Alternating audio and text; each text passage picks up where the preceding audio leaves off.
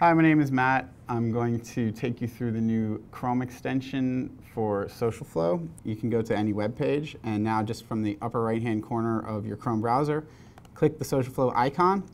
It will open up the SocialFlow Chrome extension. You can see it auto-fills in the Open Graph title or page title of the page. It also auto-shortens the link associated with that page. Uh, and then from right within this box, I can select the accounts that I want to send to within SocialFlow for optimization or scheduled publishing.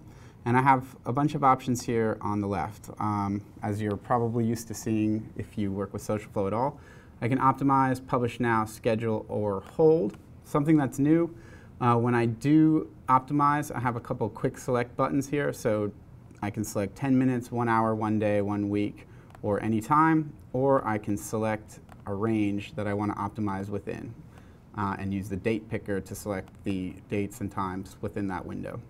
So here I'm going to select uh, one day because I want to uh, send this out today. Uh, select the accounts that I want to send it to and then I'm just going to hit this send a SocialFlow button and you'll see the message is sent right in. And to get this uh, plugin for yourself, just go to socialflow.com slash extensions.